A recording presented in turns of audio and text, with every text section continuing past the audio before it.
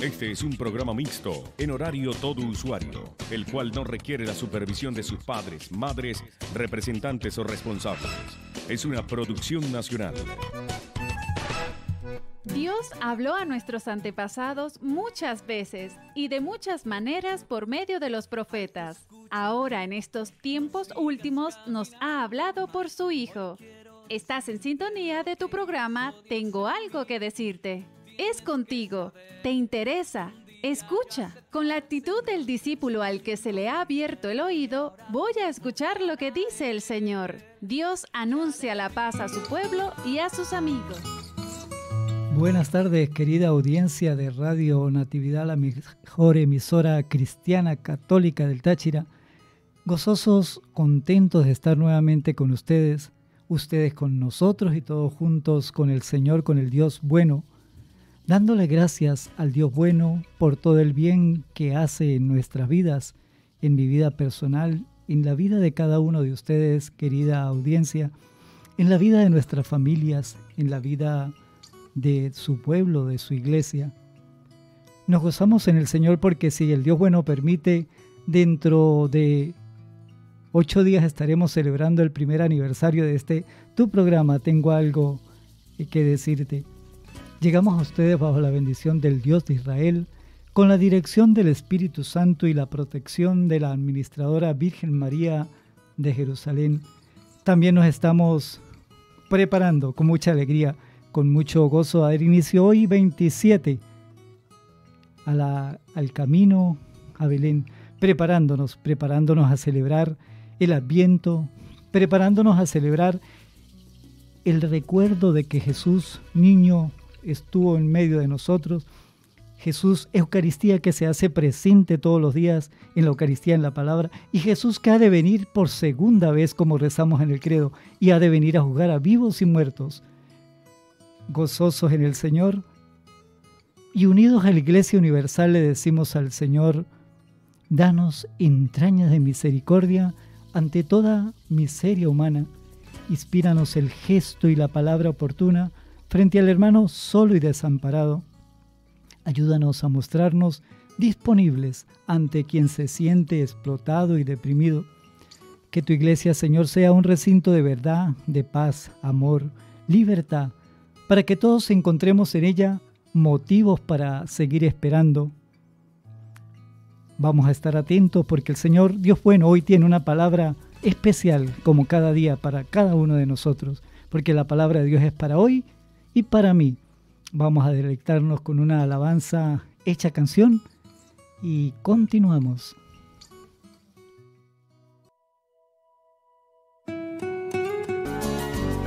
Ciertamente es viva y eficaz la palabra de Dios, más cortante que espada de doble filo.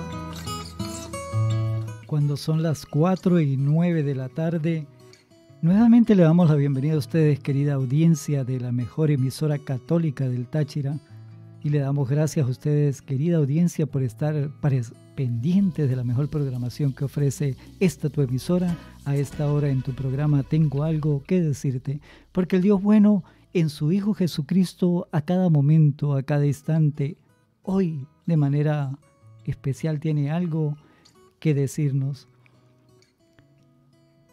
como hemos escuchado en el tema anterior en la canción, necesitamos ponernos en manos del Señor porque Él es el que ha de dirigir nuestra vida. Él tiene el control.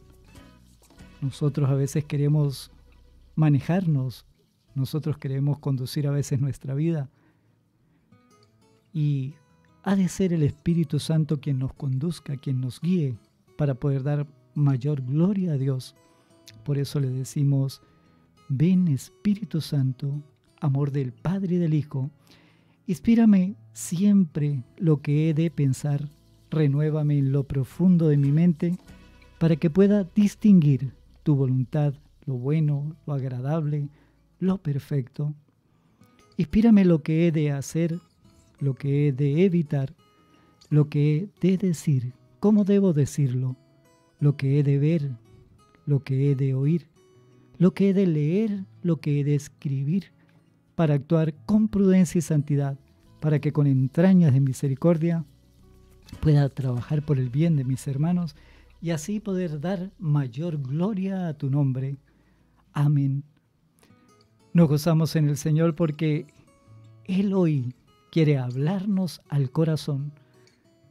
Como lo hemos dicho en anteriores programas, inspirados en una frase de San Juan Pablo II en su carta del Rosario de la Virgen María, donde incorporó los misterios luminosos, en la parte donde él habla de la escucha, atentos a la escucha de la palabra de Dios, dice que la palabra de Dios, como la Sagrada Escritura nos dice, la palabra de Dios es para hoy y para mí de manera personal, porque Dios bueno es el Dios personal que nos habla, que se manifiesta y que ha resumido toda su palabra en su Hijo Jesucristo. Para podernos comunicar lo podemos hacer al 0424 704 1430 y teléfono de cabina 0276 343 1662. Para enlazar, unir el programa anterior, vamos a leer un texto bíblico especial que conocemos y que, como toda palabra de Dios, ha de tocarnos el corazón ha de penetrar, ha de traspasar como espada de doble filo nuestro corazón para que nos renueve, para que nos transforme, para que cambie nuestra vida. El texto tomado, y presten mucha atención querida audiencia, texto tomado de la carta a los romanos, capítulo 7. Carta a los romanos, capítulo 7, versículos 14 al 25. Con esto vamos dando inicio al programa y conectamos el anterior programa. Dice la palabra de Dios, sabemos en efecto que la ley es espiritual, mas yo soy de carne, vendido al poder del pecado. Realmente mi proceder no lo comprendo, pues no hago lo que quiero, sino que hago lo que aborrezco. Y si hago lo que no quiero, estoy de acuerdo con la ley en que ella es buena. En realidad ya no soy yo quien obra, sino el pecado que habita en mí. Pues bien sé yo que nada bueno habita en mí, es decir, en mi carne. En efecto, querer el bien lo tengo a mi alcance, mas no el realizarlo. Puesto que no hago el bien que quiero, sino obro el mal que no quiero. Y si hago lo que no quiero, no soy yo quien lo obra, sino el pecado que habita en mí. Descubro pues que la ley, aun queriendo hacer el bien, es el mal el que se me presenta, pues me complazco en la ley de Dios según el hombre interior, pero advierto otra ley en mis miembros que lucha contra la ley de mi razón y me esclaviza la ley del pecado que está en mis miembros. Atentas, querida audiencia, el versículo 24, Romanos capítulo 7. Pobre de mí, ¿quién me librará de este cuerpo que me lleva a la muerte? Gracias sean dadas a Dios por Jesucristo nuestro Señor. Así pues, soy yo mismo que con la razón sirve a la ley de Dios, mas con la carne a la ley del pecado. Es palabra de Dios, te alabamos, Señor. Venimos meditando y hemos, nos hemos adentrado en esta aventura de conocer un poquito más el bello rostro de Jesús, guiados y conducidos por el Espíritu Santo y con los ojos de Lucas del evangelista San Lucas. Vamos meditando el capítulo 5 de San Lucas. Compartíamos la semana pasada el versículo... Si recuerdan, querida audiencia, recuerdan, querida audiencia, estábamos hablando del paralítico llevado en la camilla, presentado ante Jesús. Dice la palabra de Dios, y es bueno volverla a repetir. Un día que estaba enseñando había sentado algunos fariseos y doctores de la ley que habían venido de todos los pueblos de Galilea y Judea y de Jerusalén. El poder del Señor le hacía obrar curaciones. En esto unos hombres trajeron en una camilla a un paralítico y trataban de introducirlo para ponerlo delante de Jesús. Pero no encontraron por dónde meterlo a causa de la multitud. Subieron al terrado, le bajaron con la camilla a través de las tejas y pusieron en medio delante de Jesús. Viendo Jesús la fe de ellos, dijo, Hombre, tus pecados te quedan perdonados. Los escribas y fariseos empezaron a pensar, ¿quién es este que dice blasfemias? ¿Quién puede perdonar pecados sino solo Dios? Conociendo Jesús sus pensamientos, les dijo, ¿qué están pensando en sus corazones? ¿Qué es más fácil decir? ¿Tus pecados te quedan perdonados? ¿O decir, levántate y anda? Pues para que sepan que el Hijo del Hombre, pues para que sepan que el Hijo del Hombre tiene en la tierra poder para perdonar pecados, dijo el paralítico, a ti te lo digo, levántate, toma tu camilla y vete a tu casa. Y al instante, levantándose, delante de ellos, tomó la camilla en que yacía y se fue a su casa, glorificando a Dios. El asombro se apoderó de todos y glorificaban a Dios. Y llenos de temor decían, hoy hemos visto cosas maravillosas. Es palabra del Señor. Gloria a ti, Señor Jesús. La semana pasada compartíamos este texto y hacíamos énfasis en que el Señor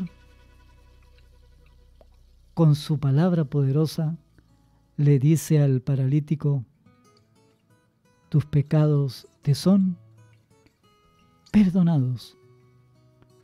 Yo me imagino el asombro tanto de los que lo bajaron en la camilla como todo el pueblo que estaba alrededor y máximo, como lo hemos escuchado, de los escribas y fariseos. Jesús que conoce el corazón del hombre, pronuncia esa palabra. Tus pecados te son perdonados. El que es el Cordero de Dios que quita el pecado del mundo. La mayoría diría, uy, ahorita va a manifestar su poder y se va a levantar y lo va a sanar. Pero se quedan atónitos cuando escuchan la palabra de Jesús que le dice, tus pecados te son perdonados. Jesús conoce que el pecado es el mayor mal del hombre, no la enfermedad. El mayor pecado del hombre es el mayor mal del mundo. Es el pecado del hombre. Por eso el Señor, sabiendo que la mayor necesidad que tiene este hijo suyo de ser perdonado, pronuncia esta palabra grande, bella, extraordinaria. Tus pecados te son perdonados. Veníamos compartiendo y para seguir la secuencia, Dios nos amó primero, nos busca. Y como los busca, vamos a deleitarnos con una alabanza hecha canción y continuamos meditando esta palabra de Dios extraordinaria.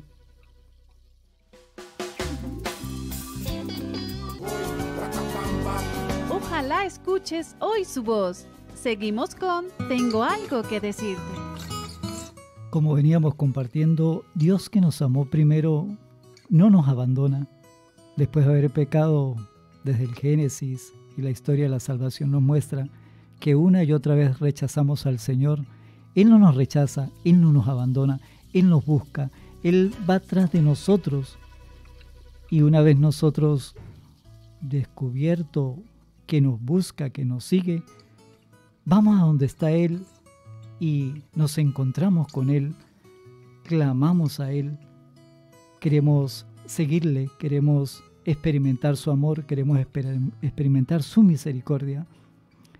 Sin embargo, este texto nos hace ver una realidad y que el Señor nos libre a todos, y presten mucha atención, querida audiencia, que nos libre a cada uno de nosotros, a cada uno de los que escuchan la programación que ofrece de su emisora Radio Natividad, lo normal es que el Señor salga a buscarnos y que nosotros salgamos a su encuentro.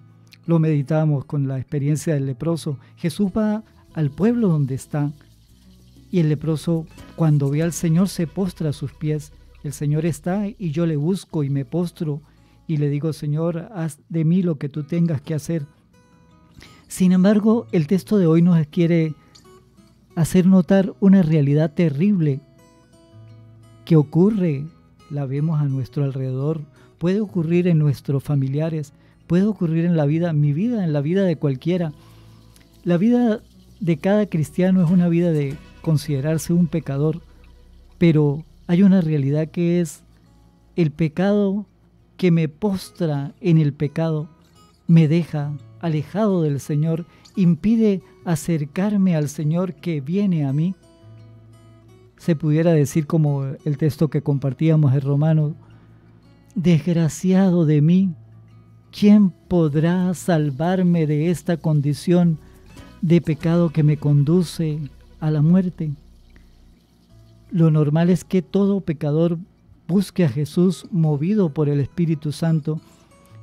Todo hijo de Dios, máxima en nosotros que en el bautismo hemos recibido el Espíritu Santo, el Espíritu Santo nos conduce a buscar a Jesús, pero hay una situación de pecado terrible que nos postra e impide que vayamos a donde está Jesús. Hace rato compartiendo con Angie Besita, mi hija, eh, le preguntaba que esta situación de postración de pecado nos conduce a la condenación. Y ella me decía, ah, pero papá, eh, y se va a quedar perdido, se va a perder. Yo le decía, si no busca al Señor, sí, pero si está incapacitado para buscar al Señor, ¿de qué manera? ¿Cómo hace el Señor para que su hijo que está postrado en esta situación de pecado le busque? Atentos, querida audiencia, ¿cómo hace? Lo hemos leído en este texto el que ha experimentado, el que ha conocido el amor de Dios, el que ha experimentado su poder en la vida, el que ha escuchado la palabra de Dios, reconoce que hay alguien que está incapacitado a, ir donde está Jesús. Por lo tanto, busca la mil y una manera de llevarlo. Entonces yo estoy incapacitado, pero los hombres de fe, las mujeres de fe, a través de la historia, dos mil años de historia que tenemos de evangelización, de la presencia de Jesús en su iglesia, su iglesia en medio de nosotros, nos muestran de que el Señor, una vez tocado el corazón de sus hijos y de sus hijas, buscan, oran, buscan la mil y una manera de presentar a los hombres y mujeres a Jesús para que nadie se quede postrado, para que nadie se pierda, para que nadie se condene, porque como hemos compartido y reiterado más de una oportunidad, Dios quiere que todos los hombres se salven y lleguen al conocimiento de la verdad. Por eso bellamente hoy el Señor nos enseña, en este estado de postración, hombres que creen, llevan a este enfermo y lo presentan ante Jesús porque saben que Jesús los puede sanar, Jesús lo puede salvar, salvar. Y de hecho Jesús pronuncia esta bella palabra, tus pecados te son perdonados. Has sido liberado del mayor mal de la humanidad, porque Jesús, como significa su nombre, es el Dios que salva, el Dios que viene a que, a que todos los hombres le descubran, le conozcan. Que nos quede claro, hermanitos, que nuestro compromiso hoy a partir de esta palabra, nuestro compromiso es orar un poco más por aquel miembro de la familia, aquel vecino que vemos que está como reácido, postrado en el pecado. No condenarlo, no juzgarlo, orar por él, buscar como hicieron nuestros dos hermanitos. La gente le impedía y ellos buscaron una y otra manera, como hasta que se metieron y lo bajaron subieron al techo, lo hicieron el hueco, ta, ta, ta, lo bajaron, lo, colocaron en presencia de Jesús.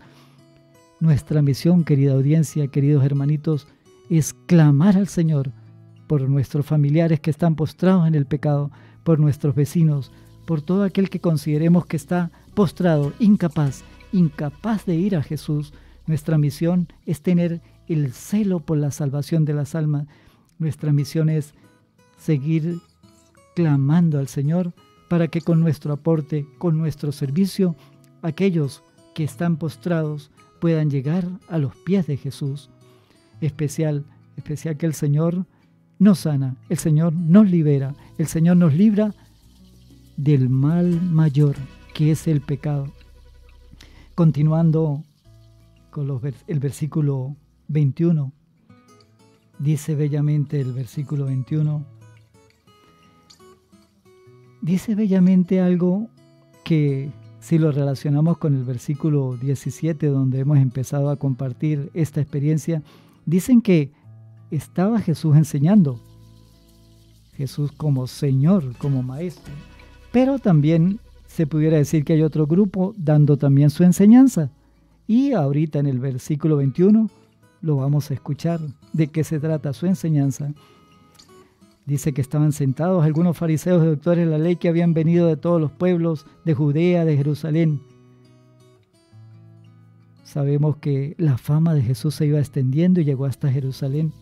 Y vinieron, vinieron a ver qué, qué tanto se dice de este hombre, qué tanto es verdad de lo que se escucha de este hombre. En el próximo segmento continuaremos, vamos a deleitarnos con una alabanza hecha canción y seguimos meditando la palabra de Dios.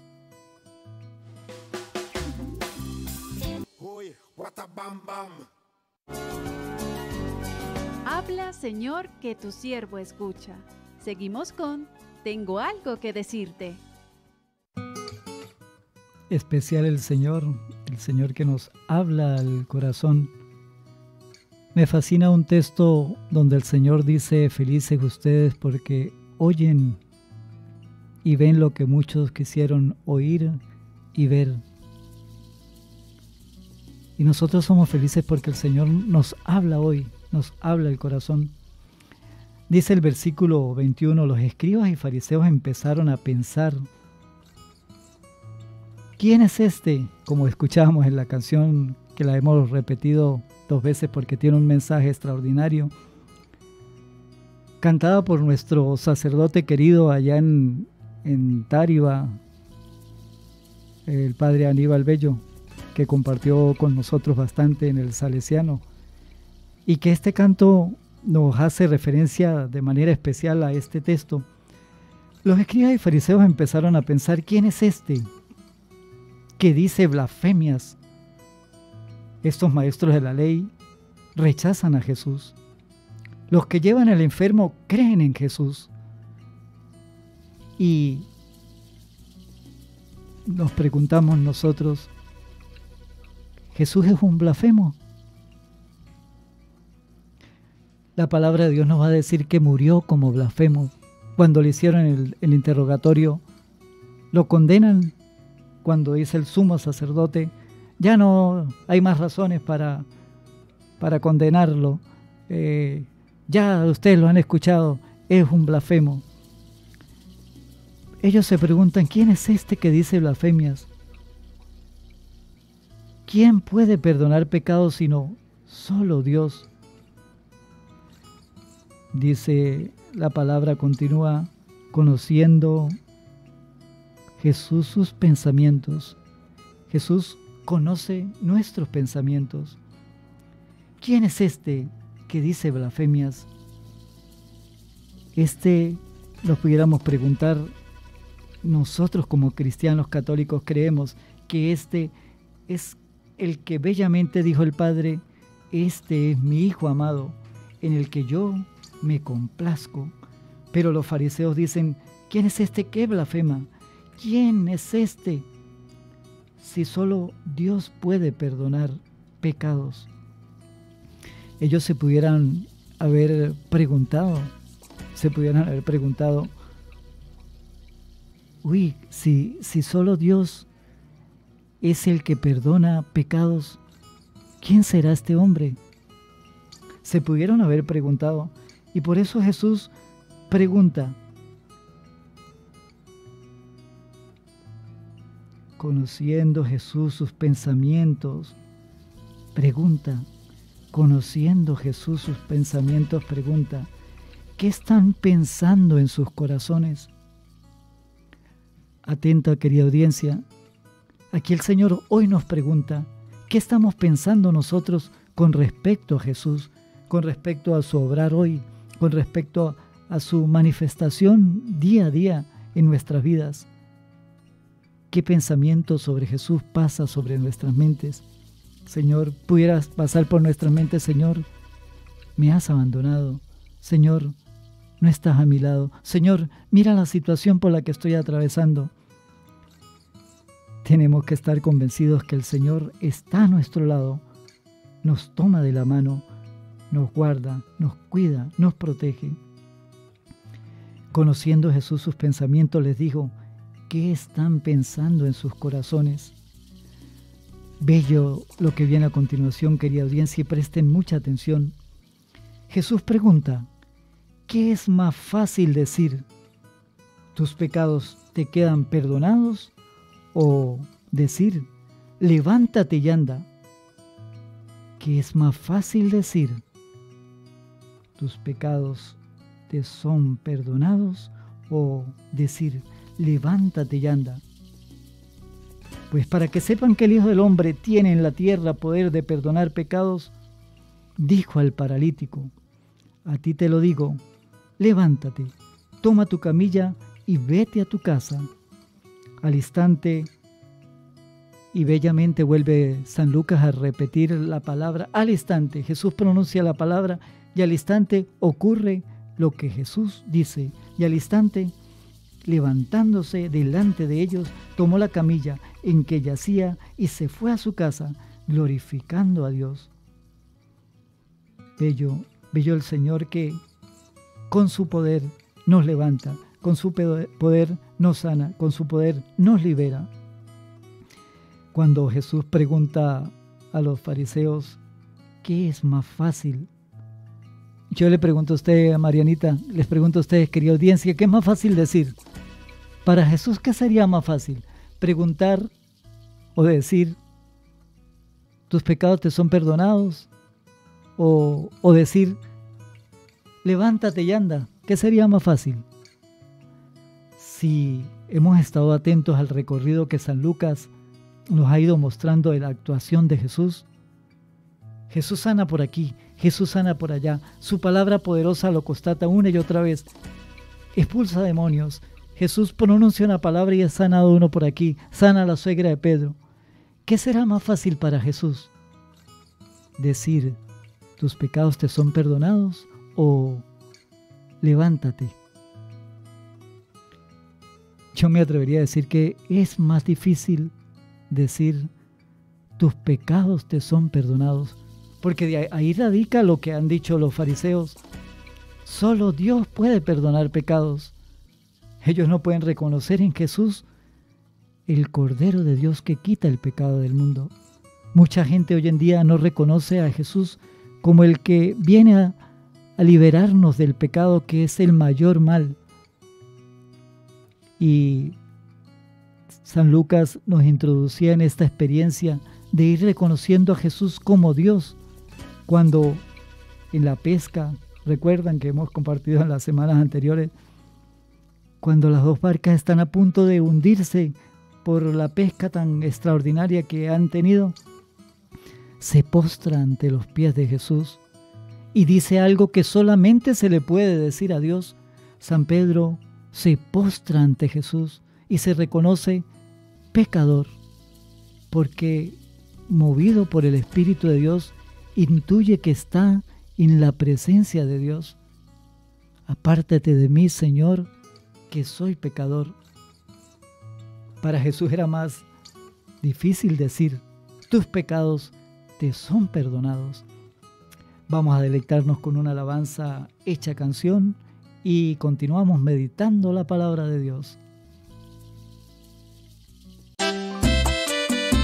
que decirte con Ángel Varela. Les dijo, ¿qué están pensando en sus corazones? ¿Qué es más fácil decir, tus pecados te quedan perdonados o decir, levántate y anda? Pues para que sepan que el Hijo del Hombre tiene en la tierra poder de perdonar pecados, dijo el paralítico, a ti te lo digo, levántate, toma tu camilla y vete a tu casa. Extraordinario, el Señor que tiene poder para sanar. A veces se critica y se puede criticar y hay muchos hermanos de hecho que critican. Y me atrevería a decir que este texto sirve de fundamento al sacramento de la confesión que nosotros en la Iglesia Católica proponemos y defendemos. Porque, como decíamos, hay estados de postración, de pecado que nos alejan e impiden que vayamos a donde está Jesús. Y a través de la historia de los dos mil años que llevamos donde el Señor resucitó y ha anunciado su evangelio en esta, en esta historia de salvación que hemos vivido. Muchos hombres y mujeres han ido anunciando, nos han ido llevando, nos han ido conduciendo hasta Jesús. Y este texto como fundamento del sacramento de la, de la confesión dice tiene en la tierra poder para perdonar pecados, pues para que sepan que el Hijo del Hombre tiene en la tierra poder para perdonar pecados. El Señor ha concedido a través de los sacerdotes la gracia de conducirnos cuando nos sentimos agobiados, cargados de pecado, cargados y abrumados por el peso del pecado él ha permitido que como nosotros no podemos, necesitamos de alguien que nos lleve y ha puesto instrumentos, sus instrumentos para que consigamos su liberación, su sanación, para que seamos liberados y sanados a través de el sacerdote.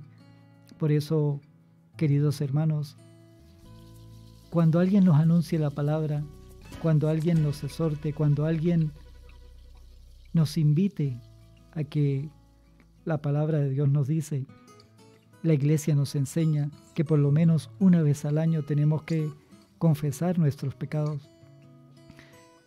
Tenemos que acercarnos para que el Señor vaya quitando nuestras postraciones de sentirnos incapaces de continuar, de seguir adelante, porque el pecado nos deja inmóviles, nos deja incapacitados y gozándonos porque el Señor hace cosas maravillosas, como veníamos compartiendo en el segmento anterior.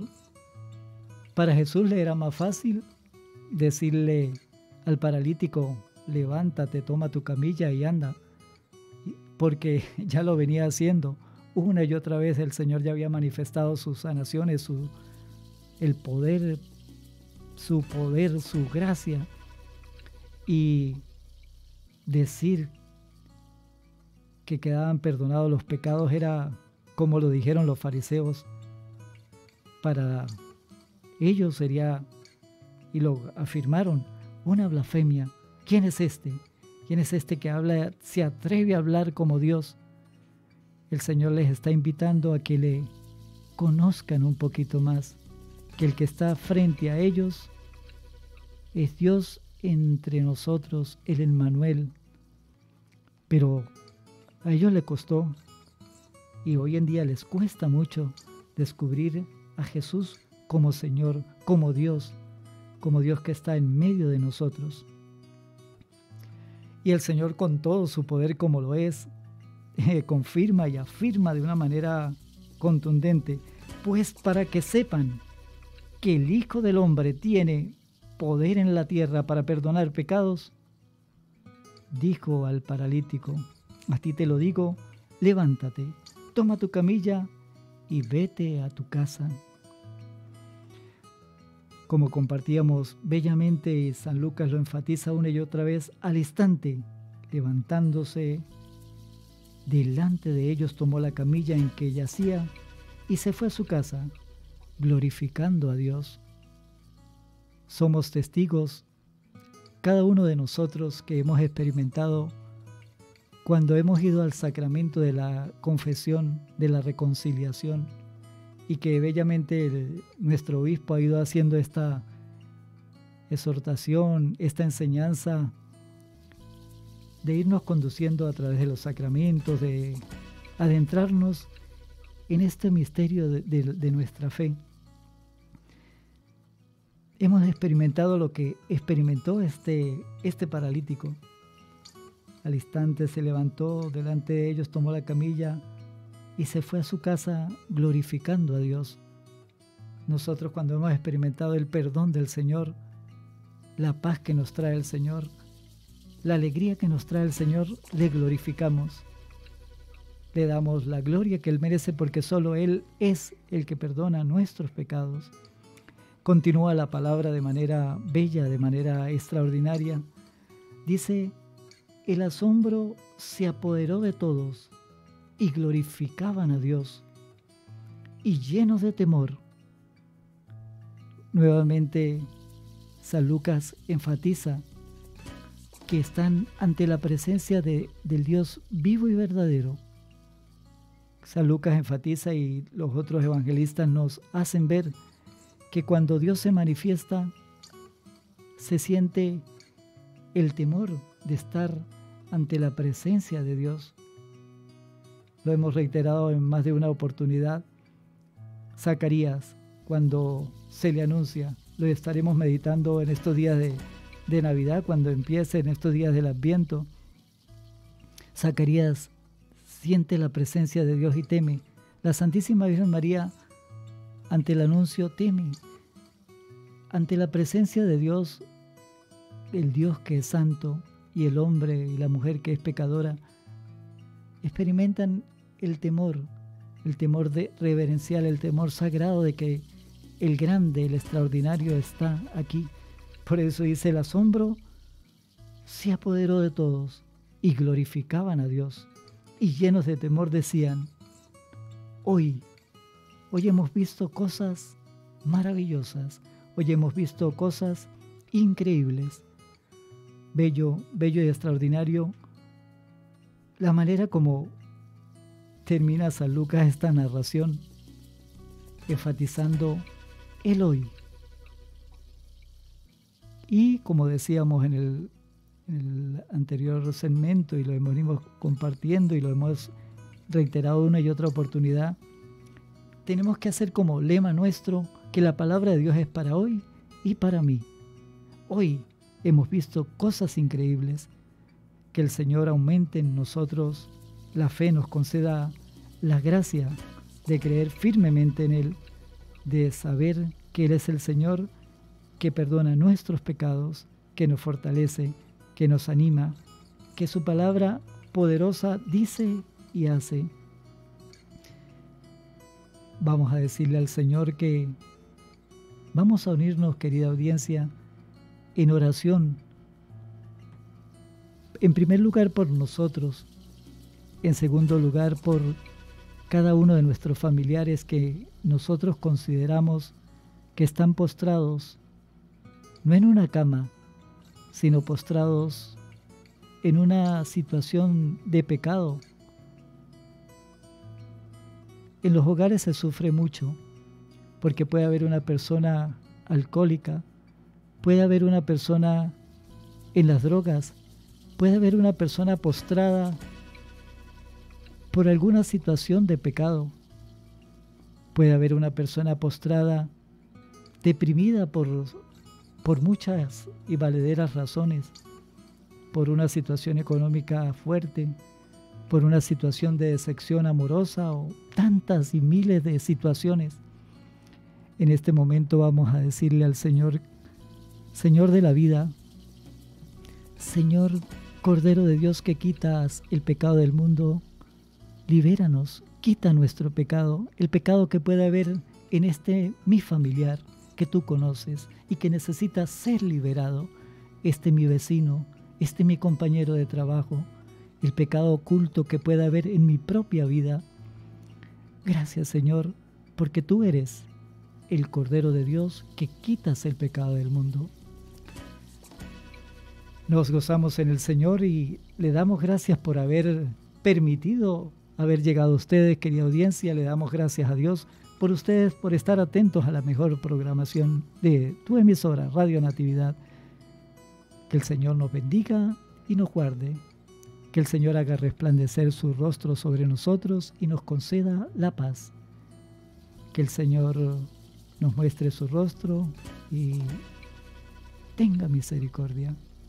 Abrazos y bendiciones, si el Dios bueno permite, nos veremos en el próximo programa. Bendiciones.